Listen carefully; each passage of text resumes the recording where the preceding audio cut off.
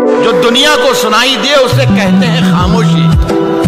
जो आँखों में दिखाई दे, उसे तूफ़ान कहते हैं, और मेरे मेरे अंदर से, मेरे अंदर से, मेरे अंदर से एक एक करके सब कुछ हो गया, रुखसत।